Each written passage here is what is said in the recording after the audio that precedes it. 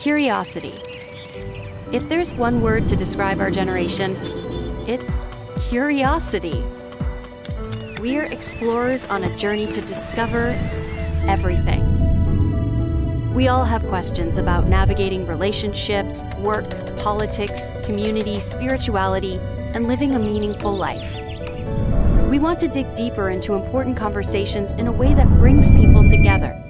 At Amendo, we're curious too.